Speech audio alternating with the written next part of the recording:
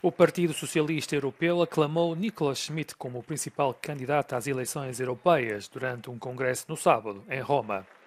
Natural do Luxemburgo, o Comissário Europeu para o Emprego e os Direitos Sociais promete combater o populismo que continua a crescer na União. Do they have a project? Except they want to destroy Europe?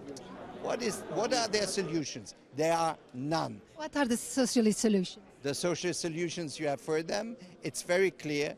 We want a strong Europe. We want a united Europe. We want a Europe for a strong economy.